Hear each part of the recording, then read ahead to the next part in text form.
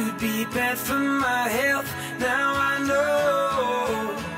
now I know I'm just a